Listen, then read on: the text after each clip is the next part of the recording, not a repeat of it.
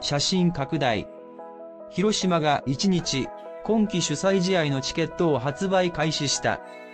この日は2月25日に約4万枚配られた抽選券の当選者が購入可能。当選券は2100枚と競争率約20倍の強運を引き当てた人が集まった。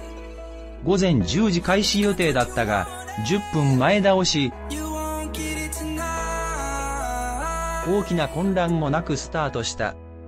球場の5カ所に分かれて開始した中、正面一塁側窓口で発売の一番くじをゲットした広島市在住の20代女性は3月29日の巨人との開幕戦などを購入。